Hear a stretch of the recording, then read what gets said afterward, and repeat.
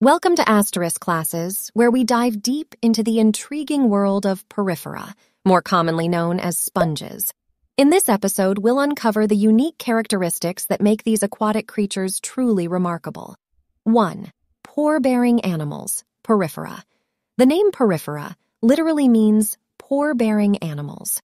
Sponges are named after the countless tiny pores covering their bodies, which play a crucial role in their filter-feeding mechanism. 2. Simple body structure. Sponges have one of the simplest body structures in the animal kingdom. They lack true tissues and organs, consisting mainly of specialized cells embedded in a gel-like matrix. 3. Asymmetrical anatomy. Unlike many other animals, sponges exhibit asymmetrical body shapes. They can take various forms from encrusting on surfaces to branching structures. 4. Filter feeding. Sponges are filter feeders. They use specialized cells called choanocytes to create water currents that bring in microscopic food particles. These particles are trapped and digested within the sponge's body. 5. Skeletal elements. To provide support and protection, sponges have unique skeletal elements known as spicules. These can be composed of different materials like silica or calcium carbonate. 6. Canal system. Sponges are renowned for their unique canal system. This intricate network of canals and chambers allows for efficient water flow, aiding in filter feeding 7.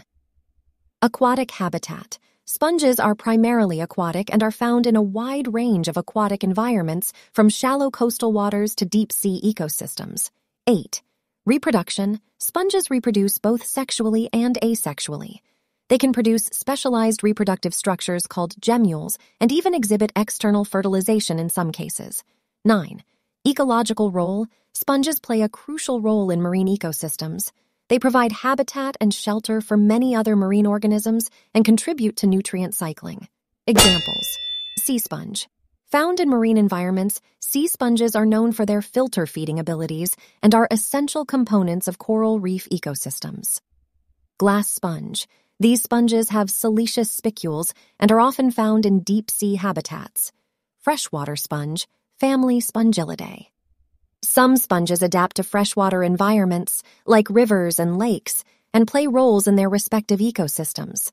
That's all for today's lecture. Stay connected with us for the next liqueur. Have a nice day!